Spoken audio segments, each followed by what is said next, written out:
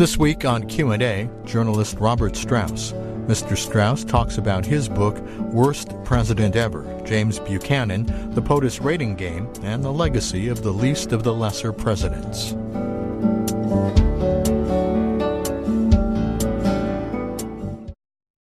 Robert Strauss, author of Worst Period, President Period, Ever Period. I'll ask you that about that in a moment.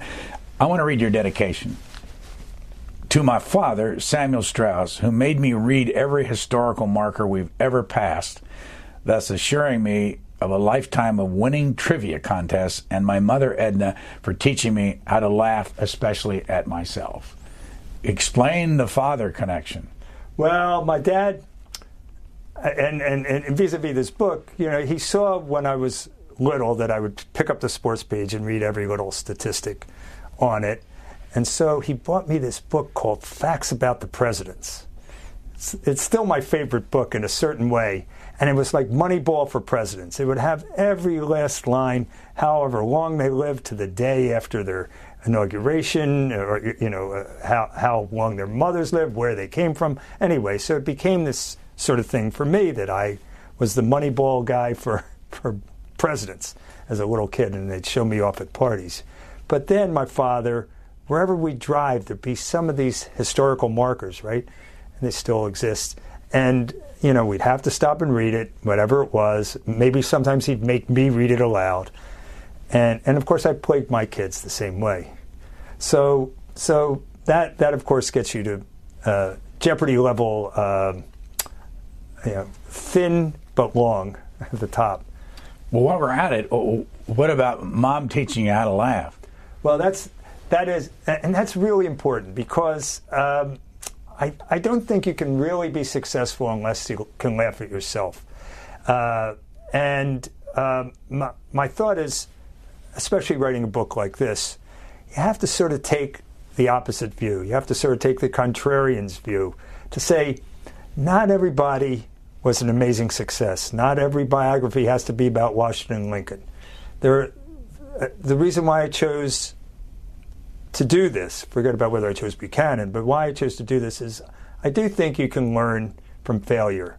I think that if the next president wants to aspire to be like somebody, they probably want to aspire to be Washington or Lincoln. Well, you can't recreate the country and you can't have the Civil War. So what do you do next? Do you aspire to be James Monroe? I don't know. But what you can do is you can aspire not to be James Buchanan. What number of president was James Buchanan. What number in, in order? He was the 15th. And before we go any further, but uh, where were you born? Where was I born? I was born in Philly, and he was from Lancaster, about 60 miles away. When was the first time you went to his grave or his home? I did a story for the Philadelphia Inquirer weekend section on what you can do in Lancaster for, you know, if you went to the, there for the weekend. It's also part of the Amish country. Uh, and I took my daughter, who was in high school, so it's not that long ago, really. She's a, she's a senior in college now, so maybe five years ago. Well, you give a lot of credit in your book to a guy named Patrick Clark. Uh, there's a great quote in here about Patrick Clark and what he says about James Buchanan. What, what, who is he? Patrick Clark is sort of the keeper of the goods there. He's the guy who runs Wheatland, uh, Buchanan's uh, home that he bought uh, uh, when he was middle aged and lived in the rest of his life. It's a beautiful home. If you go to Wheatland, just if you like historic homes with period furniture, it's great too. But he was really helpful to me. Now, he knew I was not writing the most favorable biography of Buchanan. And you know, we spent hours together. And uh, what's funny about it is he sort of acknowledges that Buchanan's not the greatest president in the world, but you can, once again, he's of the mindset you can learn from anything. What what does he do? I mean, what's his job? he, he runs Wheatland, the estate, and sort of the Buchanan uh, legacy. Who who supports it? Uh, I believe it's a private foundation, but it's Lancaster uh, history. Uh, it's all it's all tied in there. Thaddeus Stevens also came from Lancaster, and, and there's other historic monuments in and around there. I want to dip into your book to, and have you tell the story. Uh, of somebody, has, this is a non sequitur, but this story huh? was so unusual. Daniel Sickles. Oh, it's a great story. What's great about history, and of course you've interviewed many historians, is that we forget it. I mean, even even people who are relatively interested in high school or college who go through Washington, founded the country, Jefferson, Declaration of Independence, Lincoln freed the slaves.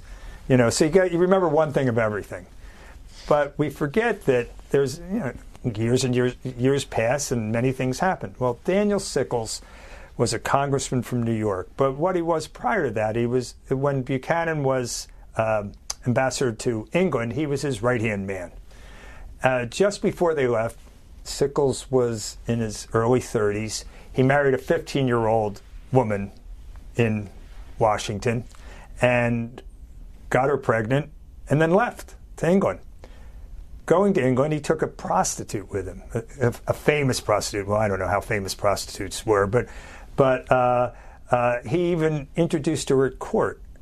Um, anyway, they, time passes. He comes back. He's gotten various jobs in the government here, and uh, he he uh, gets a letter from somebody saying that his wife is having an affair with Philip Key. Philip Key was Francis Scott Key's son. Everybody's related. You know, there's only 23 million people in this country, and not very many of them are of the elite. Anyway, so Philip Philip Key is also said to be the handsomest widower in um, in Washington. Well, anyway, at some point he sees Philip Key uh, in the park near where he lives. That's the Lafayette Park. Oh, uh, it, was, another park nearby, but he runs to Lafayette Park. He runs after him to Lafayette Park. He starts running away, and he shoots him, kills him, right there in front of everybody, however many people were there. He runs to the house of the Attorney General and surrenders. So they lock him up, but he's sort of freer than many people, and he gets to uh, uh, uh, meet with dignitaries in the warden's lounge. And one of those dignitaries is the sitting president, James Buchanan. Now, who can imagine the president going to see somebody in jail like that? But he did. Anyway, uh, he, he secures as his defense attorney Edward Stanton, who Edward Stanton, who eventually becomes Secretary of War under Lincoln. Now he's going to the ages, is his great quote when Lincoln dies. And he tries a new kind of defense called the insanity defense. He gets Sickles off. Sickles gets taken from the courtroom on the shoulders of his friends. He has a he re- reconciles with his wife. He becomes a general at Gettysburg, a, a ambassador to France, uh, has a, a, distinguished career, lives till he's 90. And gets the Medal of Honor. Yes. In, war, in Civil War. Right. So he originally went to Great Britain as an aide to, to James Buchanan. Buchanan. Exactly. At what point was James Buchanan the ambassador, the minister to uh, Great Britain in his well, life? Well, here's here's the thing about Buchanan. He's the most, in a certain sense, qualified man by virtue of a government resume to ever run for president. He was a he was a, a state legislator in Pennsylvania. Then he was a uh, in the U.S. House. He was in the U.S. Senate. He was ambassador to uh, Britain under uh, Pierce. Prior to that, he was ambassador to Russia under Jackson and he was Secretary of State under Polk. So he had a long and I don't know if we call it distinguished, but a long career in government service. Um, uh, pretty unusual. And uh, uh, so he, he, he, was ambassador to Britain at not a, a particularly crucial time, but you know he was that. Now, how did what have you done in your life? What what was your career? My career, I I, was, I went to a small school in Minnesota, Carleton College. I majored in philosophy, which was, uh, of course, great preparation to become a sports writer, which is what I did. I worked in newspapers, magazines, and television. Uh, and uh, at some point, I decided to freelance about 20 years ago when I teach uh, writing, uh, nonfiction writing at Penn. So, uh, but but as an adjunct, not as a not as a full time staffer, and it's all worked out pretty well. You were teaching when you discovered that a president had gone to the University of Pennsylvania. Who was that? Yeah, William Henry Harrison. I was teaching I was teaching his class and. And uh, I was having fun. I said, oh, "Well, you know, you guys aren't like Harvard and Yale. No presidents from Penn." This girl pipes up, says, "We had a president from Penn." I said, "What are you talking about?" says, "William Henry Harrison." So I said, "Really?" So we look up, and so Harrison, uh, Harrison's father, whose name was Benjamin Harrison, as was his grandson who became president, uh, was a signer of the Declaration of Independence, so he'd been in Philly a lot, even though he was from Virginia. And he said, and uh, William Henry Harrison wants to become a soldier, and his father says, "No, you're not. You're going to go study medicine with my friend um, Benjamin Rush up in Pennsylvania. Benjamin Rush started the first hospital in America, Pennsylvania Hospital. So he goes up, you know, reluctantly. Studies, starts studying medicine at what titularly Penn, and a month or two into that, his father dies. He says goodbye to Benjamin Rush and goes back to uh, Virginia and becomes a soldier. So he's a small, small case of the Penn uh, uh, president. You say, and, and you have this, you just went through this uh, TikTok list in the beginning of uh, what James Buchanan has done in his life, that he ran for president how many times? He, he, he was a serious candidate for president three times prior to becoming the actual candidate in 1856. He had a, he had a pretty, you know, he was always at the top echelons, but never, you know, the, the cliche of the bridesmaid, never the bride. Uh, there was always somebody else who had the ear of the of the uh, uh, the bureaucracy or whatever you want to call it that runs the party. But eventually, in 1856, he's the last man left standing. And the 16th ballot in in Cincinnati, he becomes the Democratic nominee in what I would say is about well, the the the, the recent elections hold no candle to the 1856 election, which is transformational in a way. Why? Okay, the, in 1853 we had a president from the Whig Party, Millard Fillmore. He, he, he succeeded uh, on the death of, uh, of uh, Zachary Taylor, but there was still a Whig Party. By 1854, it had broken apart. They lost the 1854 election incredibly to Franklin Pierce, and they just broke apart. And they essentially became two other parties the the uh, Know Nothing Party, and to think that we had an election where the people who were in it called itself the Know Nothing Party sort of says a lot, and, and the Republican Party, uh, taken the name taken from the Democrat Republicans of uh, Jefferson's time.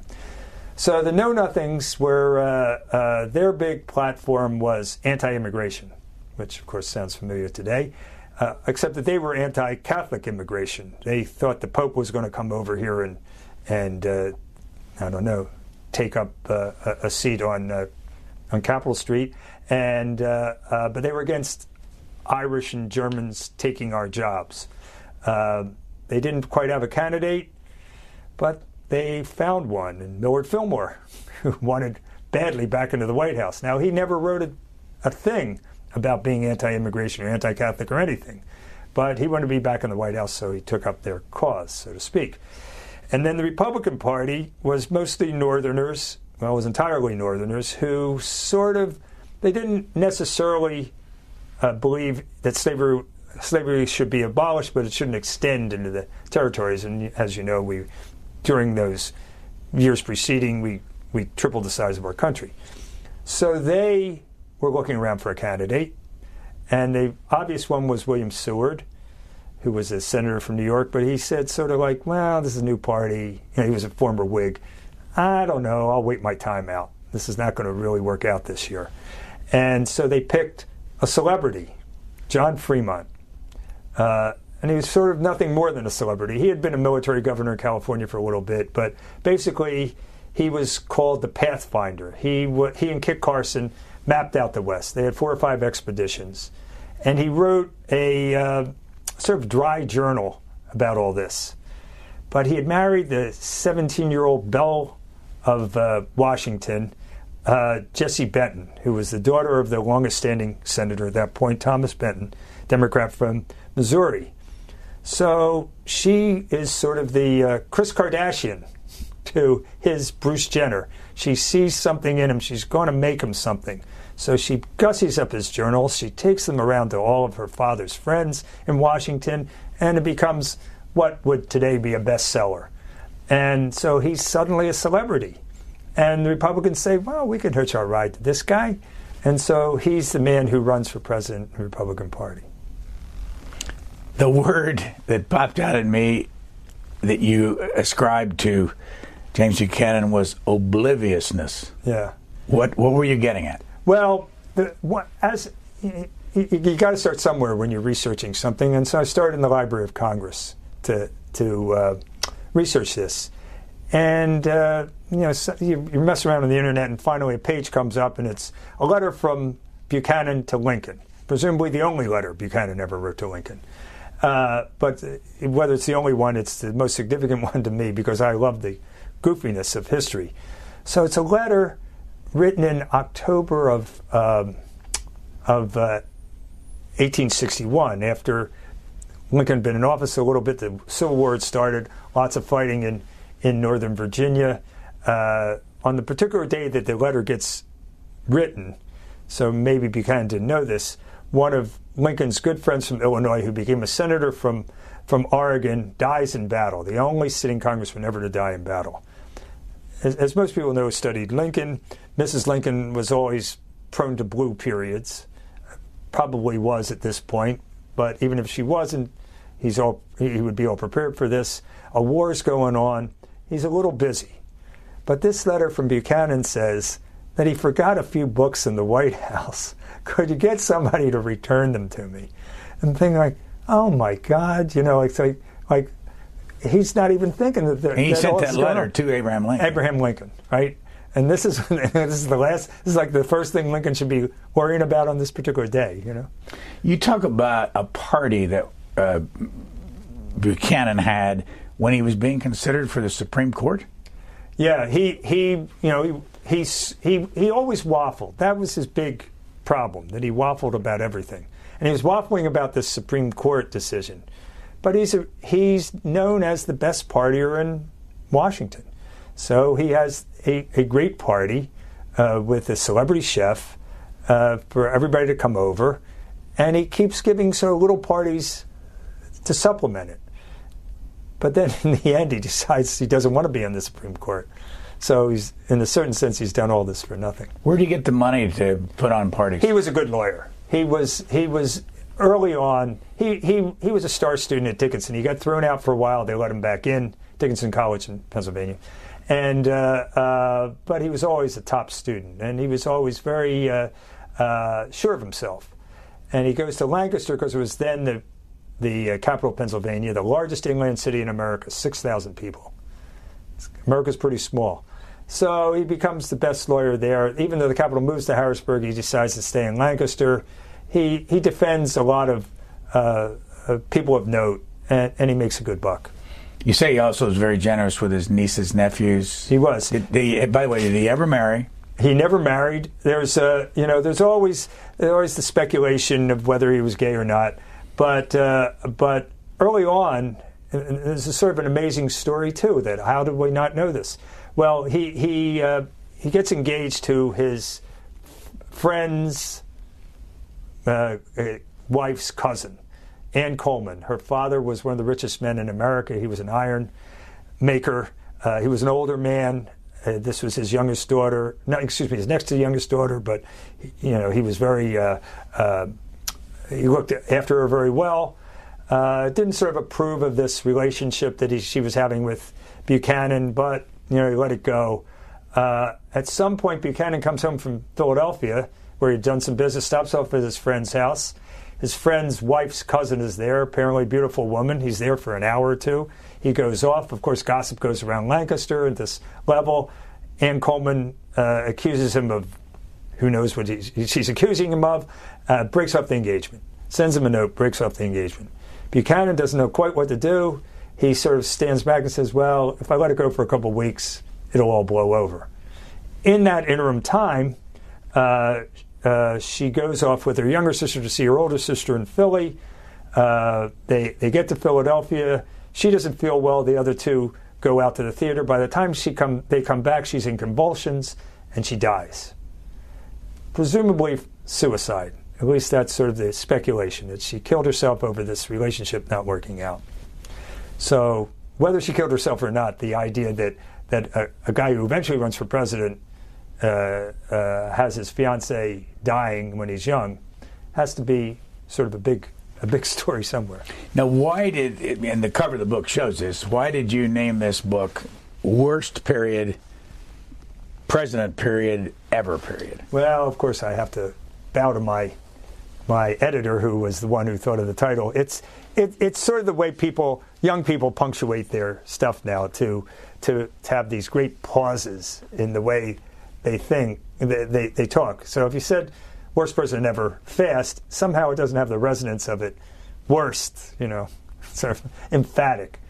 And uh, um, I did really want to make a point about how we rate things, how we rate presidents, and how we rate things in general in uh, in, in, in our discourse.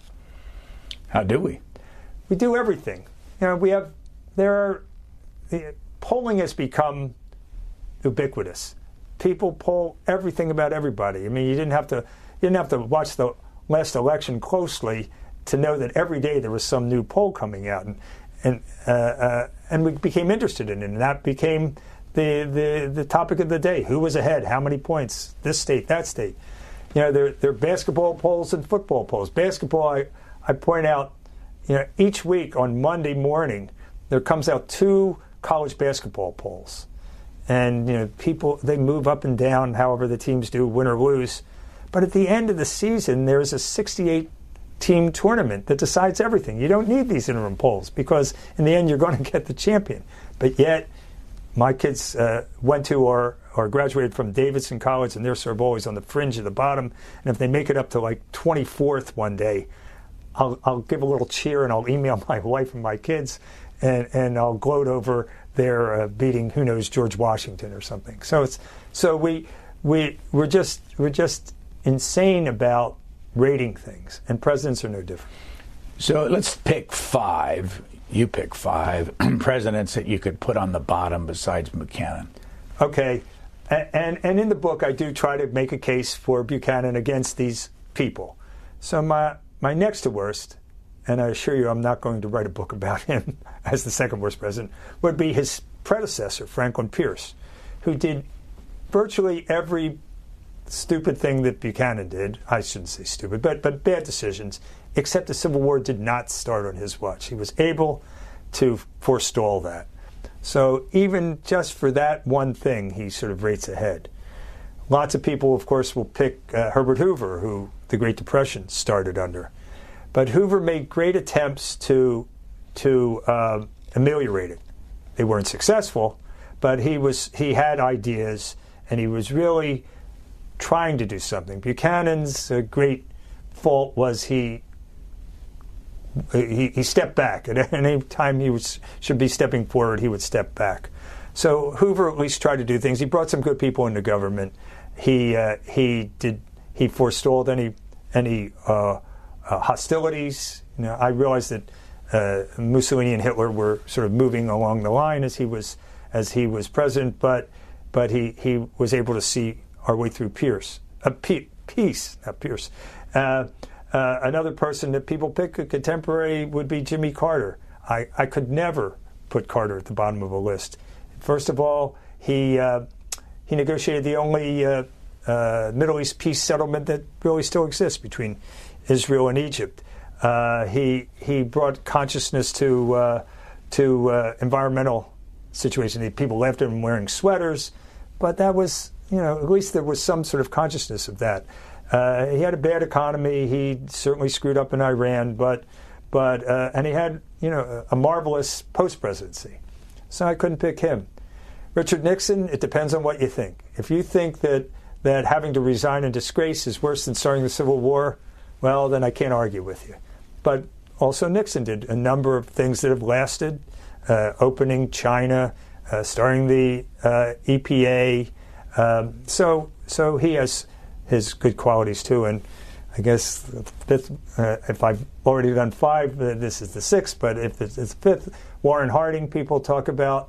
But one of the things about Warren Harding is he came to the presidency wanting to continue the business, uh, uh the, the, the, good business cycle that had started, and he was able to do it. He, there was scandals in, in his administration. He had an illegitimate child but and he died in office, but still he did what he said he was going to do, which is at least something. So, how did you decide to write this book then about the worst president in history in your mind? Okay, well, part of it is this whole thing of my, my father imbuing me the presidents, and I'm thinking about him, and and uh, I play early morning basketball in Philadelphia. I I park at 5:30 or 6 in the morning on a certain street corner, and it's a, a notorious street corner in Philadelphia. And I won't get into why, but but it is. And but on the corners, this Pennsylvania Historical Society, where many of James Buchanan's papers are, and think, hmm, you know, James Buchanan. I hadn't really thought all that much about him, but but uh, then I went and sort of studied the papers, and I see like really like he made this decision, that decision. They're all bad decisions, and I thought, Who says so? oh, of course, me. Okay. Uh, but but they were decisions that led to the Civil War, uh, in a sense. I mean, there was a there's a clear pathway uh, of, uh, of, of sort almost they were almost non-decisions in some ways. Why are the papers where you found them? What, where are Uh, his nephew left many of his papers there. Uh, uh, you know, his, uh, uh, one of one of his. Uh, he, he, he was very, as you said, very kind to his nieces and nephews, and, and his nephew took charge of many of his papers. And when he died, he left them to the. Had you written books before? I'd written. I well, I'm a journalist. I've written a lot of stories. My, uh, um, but I I had written one book before, and it was a memoir about being the dad of girl athletes. But it wasn't like my kids were the greatest. It was sort of funny and sentimental, and so it was a completely different kind of thing than this. You say that James Buchanan did not profit financially. No, he, he well, because he, he he was uh, in his mind independently wealthy. He was not the wealthiest man in America, but but his desires were to give parties. He loved giving parties. There's always a positive aspect to every negative um, uh, guy, and uh, he was. Two things about him is one in all of his papers, and I've read a lot of stuff by him, about him, to him. He never says anything bad about anybody publicly, at least in at least in papers. I don't know what he said, eh, you know, in, in verbal terms. But he, even people he didn't like politically, he never said anything bad about them personally. And like I said, he loved giving parties, and he was the, the inaugural ball of 1857 was the greatest party in 19th century America. How did you find that? Okay, well, here's the problem. After Van Buren, the next several presidents had non partying aspects to them. Washington wasn't a very big town, but there was still an elite party scene. There would have been. Dolley Madison was certainly invited to every party. Um, so after Van Buren, William Henry Harrison dies after a month in office. His successor, John Tyler, has a sickly wife. She dies while he's in office. Not much partying going on there. Polk comes in. His wife's a strict Presbyterian. No drinking or dancing in the White House. Not much partying going on there. Next president, Zachary Taylor. He dies in office. Millard Fillmore comes into office. His wife is sickly. She dies soon after his term is over, but she, but you know there's no first ladydom partying going on. She really wants to recede into the background. And the most tragic of all is Franklin Pierce. Two, he was said to be the handsomest president. He was a, he was sort of the John Kennedy of his time, young president picked out of nowhere uh, from New Hampshire. His uh, his wife doesn't want him to leave New Hampshire, but yet he runs and wins. Uh, he has uh, two sons who die young, and then he has a third son, his, of course, his now favorite son. As he's sort of taking his victory lap after winning on a train, he's in Massachusetts. The train has an accident. His son dies in front of him and his wife. So the third son dies, but really, uh, Mrs. Mrs. Pierce wears black through the whole time of his presidency. She barely ever appears in public. So we have this whole long time of no parties in Washington. Suddenly, the great partier, James Buchanan's the president. He gives this fantastic inaugural ball. He puts up a, they put up a huge tent on Lafayette Square. Six thousand people come. Now, six thousand people is a lot in a country that only has 23 million people. And, uh, and Star Spangled, a big orchestra, food that you can't imagine, saddles of this and oysters like that. And uh, uh, Harriet Lane, his niece, is the first lady. And she is the Jackie Kennedy of her time. She's every, everything she wears, all the young women want to wear. Uh, they have trading cards that are Harriet Lane trading cards. Uh, they name a Coast Guard cutter after her, the USS Harriet Lane. It, it eventually fires the first shot of the Civil War from the Union side. It gets captured by the Confederates. They don't rename it. She's too popular. It's still the it's still the CSA or whatever they would have CSS uh, Harriet Lane. So uh, so these two together are just looked upon. He, he starts out in such a favorable way. Uh, all the dignitaries come. The, the story, the, the recounting of it in the New York Times and other papers uh, are just wonderful. They're just a wonderful, wonderfully written story about the pomp and, and everything that, that had been gone from Washington. But then the Dred Scott decision comes down. Before we get there, Okay. why is Harriet Lane known as the first First Lady? Okay, it, they sort of called Dolley Madison that, um, the First Lady, because she was so prominent in society, both while she was First Lady, while she was the, the, the president's wife, and then afterwards, and you know, after, after Madison's death, she was the go-to person. Every party Dolley had to be at. Um, but then Harriet Lane is the hostess in the White House. So what are you going to call her? She's not the president's wife; she's the president's niece. So they called her the first lady. So if you go back over, as you suggest, James Buchanan's life, he was a state senator or rep in Pennsylvania. He was state rep, right? State house. Okay. He had a law degree. He goes on to be a congressman to the U.S. Congress from Pennsylvania. Right. He becomes a senator Right. from there. He becomes the minister to Russia, the minister to Great Britain, and Secretary of State. Secretary and Se- uh, secretary of state, and then becomes president. Is he at that point the most qualified person to be president? Uh, if you if that's what you go by, yes. If you go by the number of years at a major post, and depending on what you call major posts, he definitely is. Um, but here's something about him. He's never proposed any significant legislation, or he never got any significant legislation passed. He was a conciliatory man. He was, that's why he was probably uh, he was he was extremely good in Russia. Uh, Andrew Jackson sent him to Russia, and is said to have said on his deathbed that he would have sent him further if he could. He, he didn't particularly like Buchanan, but he was sort of the Don Corleone of presidents. He was micromanaged everybody and made sure that everybody would uh, would cleave to him. So so uh, Buchanan comes to office with a long resume. He was sort of boring to people. He was 65 when he was elected. Um, nobody until Reagan uh, was that old after him. The, the, the Democrats had had quite a streak in the White House after the first two Federalists. They won 10 of the next 13 elections. He was a Democrat. He was a Democrat. You know, pretty good, 10 of 13. If your ball team is, wins 10 of 13, you're pretty happy. Um, so he comes to office. It's a crucial time, but it doesn't seem any more crucial than Pierce's term or Fillmore's term. Slavery is the overhanging problem. What is the first day that he is president? Okay, he, he, he becomes president in March, in March as as they did then instead of January.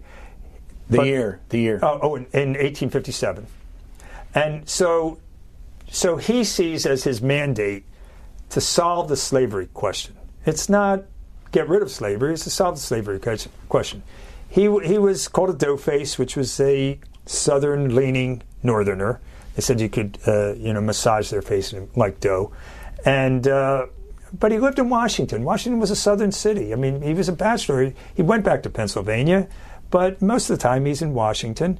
Uh, his friends were Southerners because more Southerners than Northerners actually took up residence in Washington.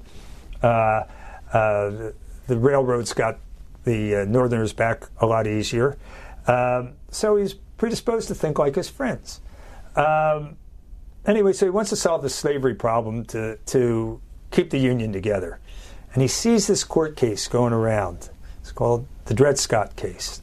Dred Scott was a, a slave to a uh, military man in Missouri who, for a time, went to what is now Minnesota, uh, free territory, and then came back to Missouri. He dies. Dred Scott sues, saying, I was free in Minnesota, I should be free. Uh, like I say, the court case goes around, um, and it comes up that it could be on the Supreme Court's docket. But Roger Taney, the Supreme Court Chief Justice who, like Buchanan, went to Dickinson College, so they had some sort of bond. Uh, but you say he did not own slaves. Taney. Buchanan did not. Taney did. Taney did own slaves. Did own slaves. Many. I don't know how many, but enough. Okay. You know, whether what you call many, but but he had slaves his whole life. He was from Maryland, and he was Francis Scott Key's uh, brother-in-law, to show that everybody's sort of connected. Uh, so anyway, so they have this discussion before uh, Buchanan takes office and says, we can't just have a decision that's southern northern. The, the, the court was split five southerners and four northerners. It's not going to amount to much. You've uh, so Buchanan takes upon himself to find a northern justice that will go along with this. And he finds a guy named Robert Story, who, coincidentally enough, went to Dickinson College. So they have this bond once again, and Story says, okay, I'll go along with whatever Taney does. And uh, uh, another uh, northerner from New York says I'll write a concurring opinion. So it's essentially seven to two. Now you can have a, a decision that might mean something. Northerners going along with Southerners. Uh, the decision comes out two days after the inauguration. It's said that on the uh, uh, inaugural platform, before Taney gives his, uh, him the oath that they discussed something, uh, Buchanan had distributed souvenir transcripts of his inaugural address. There are a few lines that weren't in it, and a few lines sort of allude to this decision is going to come out. We're going to all be happy about it.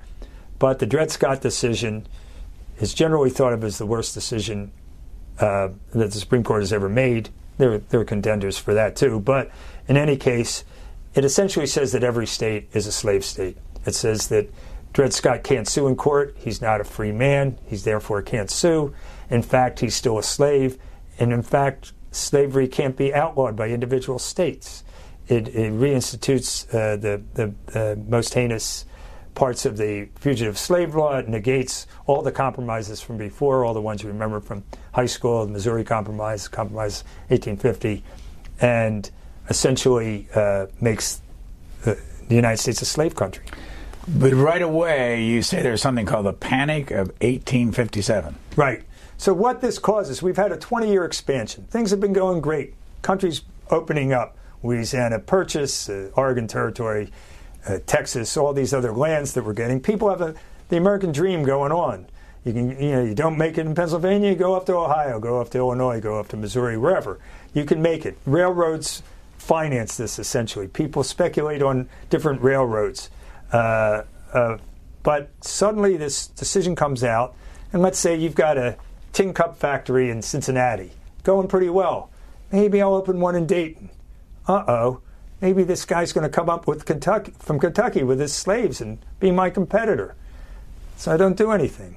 I stop I stop expanding. The country immediately stops expanding.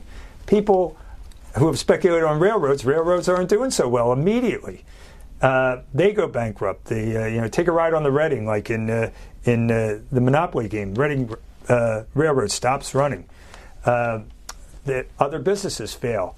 So within months, we're in this tremendous economic panic, a greater precipitous depression than the Great Depression. Uh, all the banks in New York close for a day. Uh, they decide not to take scrip. Well, you don't have sort of gold scraping it off of that to pay your employees at the tin cup factory. But in the South, it doesn't affect them that much, as much, because they're an agricultural society. You can feed and clothe your, your family, at, at the very least. You can probably sell your, your cotton and your, uh, your lima beans. But in the north, where manufacturing has gotten sway, it's really precipitous. So that divides the country ever more. How would it compare Panic of 1857 with our problem in this country in 2007? Because it was so because because the the moneyed class was so much smaller and they were affected so much so greatly so quickly. So the so our most recent recession, I'm not belittling it, was not as like this. It was not a was not a, a dive off of a cliff. It was it was sort of a a, uh, a slower uh, and, and, things things happened uh, in, in in a matter of course as opposed to just precipitously. I'll, I'll, give you one example. I like to tell stories within this that, that have something to do with me. But I, I'm I'm out looking for a 25th anniversary present for my wife. You know, and I'm trying to think of goofy things. So I go to this coin store, thinking I'll get a quarter, 25th, right, quarter, or I'll get some, you know, uh, silver dollar from when we were married. But I, am waiting for my turn, and I look in the case, and, and as people who look at coins know that the coins were yay big when in the 18 in the 19th century. So I'm looking at these coins, and, and then suddenly in 1857, coins are like this, like a dime. So I asked the guy, he says, Oh, Panic of 1857. That was Buchanan's great uh, idea. We'll make the coin smaller. Well, that's about his idea because the rest of his idea is like, you know, to heck with you. You speculated, you deserve it. Why don't you be like the people in the South who work hard with their hands? So he does nothing to ameliorate it. He just figures it's going to play itself out. And uh, sure enough, it does because eventually we have a lot of munitions to make in 1861. You, you say that um, Americans have a lot of vitriol uh, toward their presidents. Yeah, I think so. I, I, I, I don't know how you feel or people out there feel, but they probably don't hate their mayor or congressman. They might not agree with them in this, uh, you know, like something like that. But uh, especially as the last election shows, they're, you know, the, the, the, the uh, if, if you can only go by polls, how, how much uh, uh, the, the two main candidates were disliked as opposed to liked. Um, and I don't think that's any different from times in the past. We tend to have, it must be because they're the top person, that, you know, whatever it's jealousy or we feel they have the ultimate say over us and we can't possibly agree with everything they say. And somehow we really find, uh, like I say, vitriol. I know you wrote about James Buchanan, but if you had to say the four or five most interesting presidents that you've looked at, studied, gone to their sites over your years, who would the, who would they be? Interesting, I, not successful. Right, right, right. I, you know, it's funny. I, I, did write a story for the New York Times once on visiting uh, uh, sites of uh, lesser-known presidents. Of course, I knew the Buchanan book was coming, so I put him at the top of the story. But uh, I found that as I looked into the lesser known presidents, I was sort of more interested in them. Uh, um, Mike Coolidge, he was an interesting character. He was really, you know, this whole silent Cal thing. One of the things in my little statistical book was he had three hobbies. One was pitching hay, one was riding a mechanical horse, and one was throwing Indian clubs. And I'm like, really? like, like who who knew that you threw Indian clubs? But in any case, uh, uh, they're like bowling pins. So so uh, so I always found these these sorts of people uh, interesting. I, I, I badgered my wife to stop at presidential sites. We she uh, we we live in New Jersey and we drive out to her mother's house in, in Michigan and on the Ohio Turnpike we would pass this sign constantly Rutherford B Hayes' house say, one day I'm going to go there. One day I'm going to go there. Finally, we're driving out last year, and I say, can we please go there? And she looks at me and she says, 90 minutes. You know, I got 90 minutes to, to cover Rutherford B. Hayes. We go to his house. It's a beautiful old house, 30 some rooms. His, his father had died, and his uh, uncle was rich and, and, and built this house for his mom and him. And uh, anyway, we're going through it, and of course, there's only two other people on the tour. Uh, uh, it's not presidential history is fine, but most people stick with Monticello and Mount Vernon. And so, at the end of the tour, uh, the the woman says, uh, "Would you like to see Hayes's bellows-driven harpsichord?" You know, like Indian clubs. What's a bellows-driven harpsichord? So I say, "Of course." And she brings it out, and sort of this, as you might imagine, it's driven by bellows at the bottom. And she says, "Would you like to play it?" And it was like well, yeah, and Mozart's violin too. So for me, that's like wonderful. So I go and I pump this thing at the bottom and I play Take Me Out to the Ball Game. And I'm just imagining Hayes sitting there saying, Yeah, let's go, let's play two, you know. What are some of the other presidents that uh, you, you know you'd put on the list if you're going to be a visitor? Uh, I I would say, well, of course, the great ones. You know, you would, you know, I, I don't care how different their politics are than yours. But come on, you know, you know, George Bush has the same birthday as me, the younger George Bush. I'm waiting for him to invite me to his birthday party. I mean, uh, uh, same uh, age? No, he's five years older than me. Uh, exactly. Merv Griffin also had the same birthday, so unfortunately he's not around. But if he were, we could play Jeopardy together because that's what Merv invented. But uh, but I, I, would like to meet all of them. I I, I, I did it one. I once did a story with uh, David Eisenhower, Ike's uh, grandson, who's writing books about his grandfather's time. He, he, was a Pulitzer finalist for one of them. So uh, the Penn Alumni Magazine, Penn, uh, he teaches at Penn, David, uh, calls me up and says, "Will you write a story with him?" And I'm right. I'm thinking like, God, you know Eisenhower. He's sort of not all that well thought of in, in, sort of the scheme of presidents. But so he starts telling me stories about him, and and and once he starts telling me stories, I said. Well, David's father, the middle generation, was Ike's chief of staff, and they eventually retired at Gettysburg. So David is, uh, I don't know, young teenager or less than teenager, and Ike would come to his Little League games. Now, can you imagine that? The president coming to his grandson's Little League games. So wouldn't, want, wouldn't you want to sit with Ike and talk baseball? And I said, that must have been a lot of pressure. And David said, oh, no, I'll tell you what pressure is. He says, you know, my grandfather loved to play golf. And so that was the one time he would allow the press to come and take pictures, is on the tee when he would invite some general or, you know, diplomat or something to go. And, he's, and often there would only be two other guys. So he'd say, David, come on, you got to come out and play. He says, that's pressure. All the nation's cameras are on me, a 14 year old trying to make a good drive. So, you know, the more you know about these people, you, you know that they were substantial people, even if they. I, I mean, I, I, always I've always have, have, have, have, admonished people who always want to say uh, how dumb George Bush was or something. They're like, wait a second, this is a guy who went to Yale and Harvard Business School. You might not agree with his politics, but he's not dumb. And and uh, so I, I would I'd love to have dinner with any of them. What could our new president learn from studying Pat. Uh, Pat. Pat Buchanan. That too, probably. Yeah, yeah. but from studying uh, James Buchanan. Okay, he could. Uh, I I think the differentiation of good presidents and bad presidents. You know, uh, Washington, Lincoln, and FDR are always at the top of the the surveys that historians take. They were decisive men. You can't come to the top of the ladder and not be decisive. Buchanan was a waffler. James Polk hated him for being a waffler as Secretary of State. He always went back and forth on decisions. Know, you're my advisor. You got to tell me what to do. So that's how he was as president. I could go on the list of things that make him the worst president, and all of them have to do with not making a decision when he had to make a decision. So that's what the next presidents, whether it's this president or or uh, or, or, succeeding presidents, uh, should learn. He, he, some point you got to say this is the way it's going to be. I mean, people who didn't like Reagan don't understand the re- reason why people liked him is because he made decisions, whatever they were.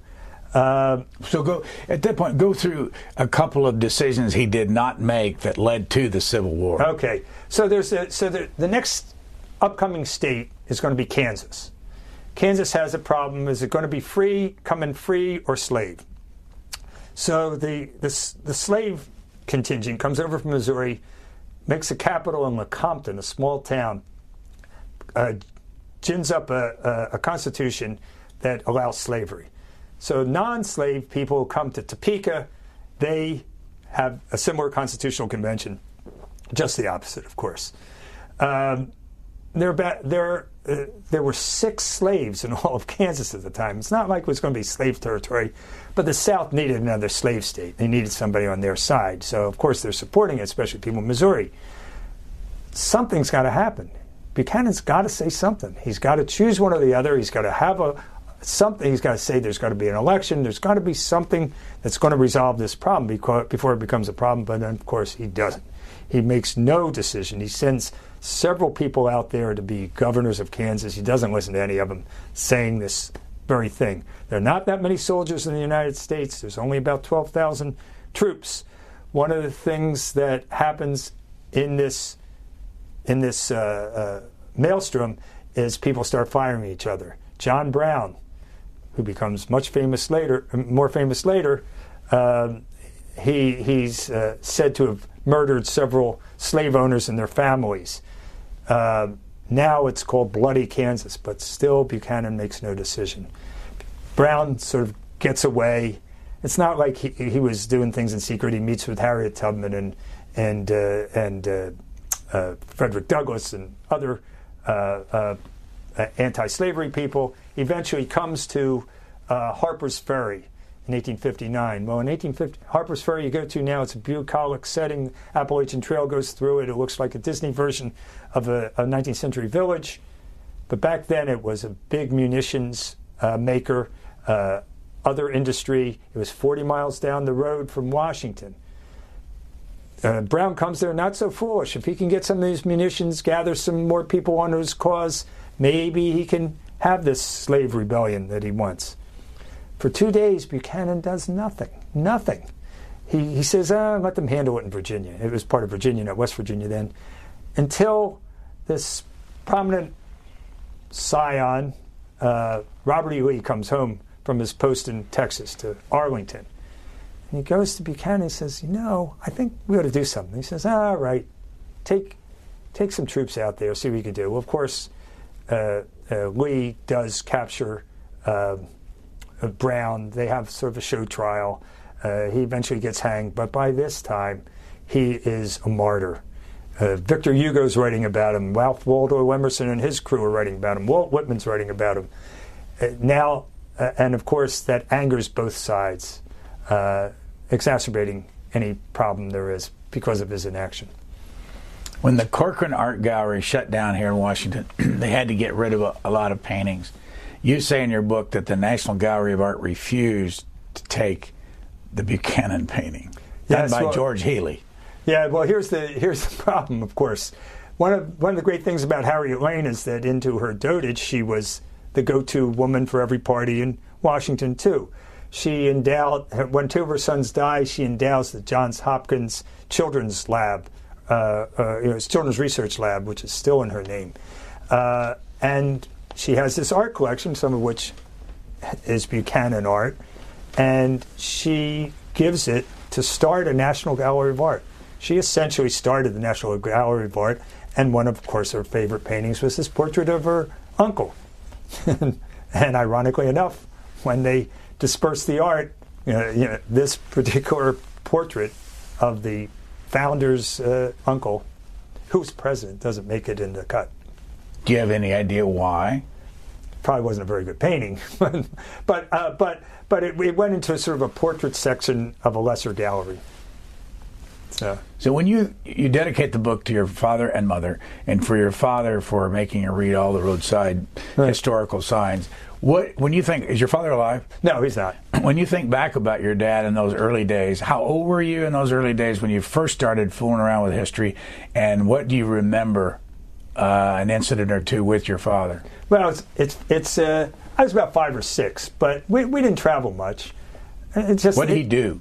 Oh, he was a lawyer. He was a local lawyer in Camden, New Jersey, and uh, uh but he was still fascinated with history. We have I still have like books and books and books like President Polk's letters or all these sort of things. So they were always around. But we did take one trip to the South when I was 10. It was 1961. And, uh, and we started going to uh, uh, Civil War sites because that was started the Civil War Centennial. But we made it to uh, Staunton, Virginia, where Woodrow Wilson's birthplace is. And we come up to the door, and there's a sign that it's closed. And my father, you know, we never traveled there looks around, and it was the day the second Mrs. Wilson died. Like, how unlucky could we possibly be? But I mean, the anniversary of Edith Galt uh, Wilson's death. No, it was the day she died. Oh, that's right. She, lived, she lived yeah, a long oh, time, right. right? Yeah. Okay, so so it's like who could pick that day? But anyway, so he says he revs it up and he says, "Ah, we're going to go to Charlottesville, not very far away." But we don't go to Monticello first or Ash Lawn, where where uh, uh, James Monroe lived.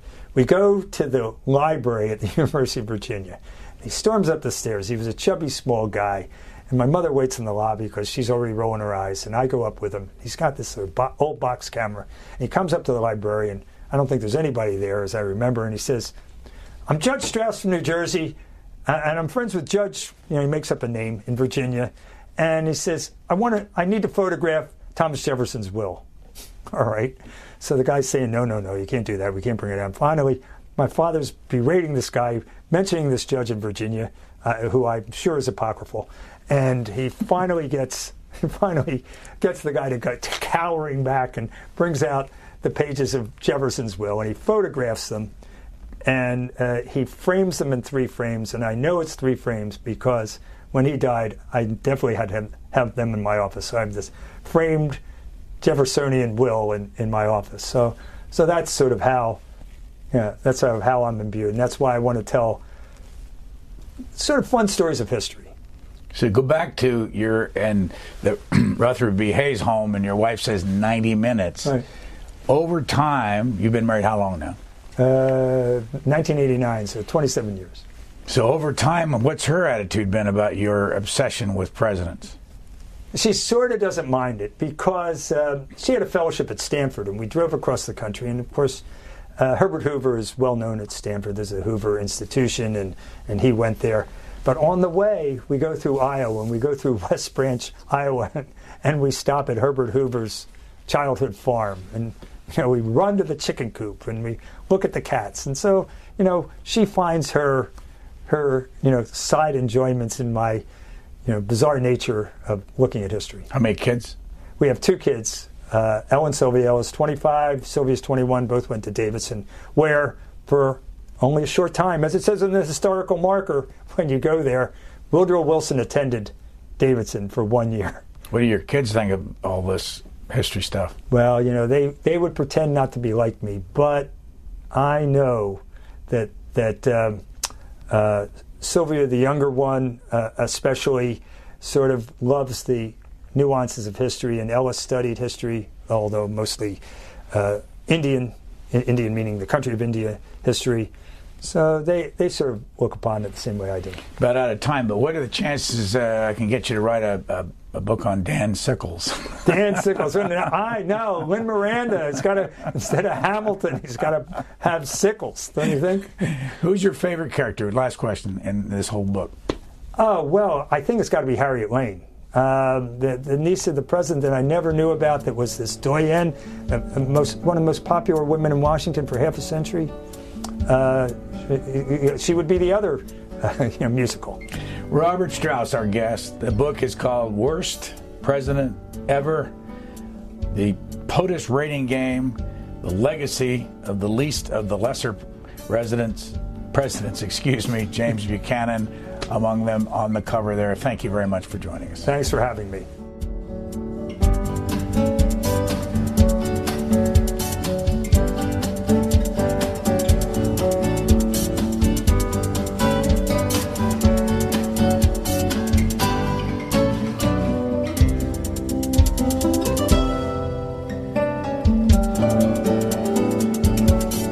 Transcripts, or to give us your comments about this program, visit us at qanda.org. Q&A programs are also available as C-SPAN podcasts.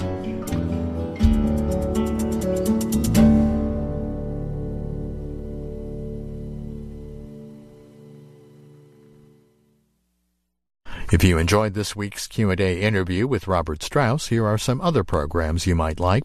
A. Scott Berg on his biography of President Woodrow Wilson. Evan Thomas talks about his book, Being Nixon, A Man Divided. And Scott Miller on his investigation into the assassination of President William McKinley. Watch these anytime or search our entire video library at cspan.org.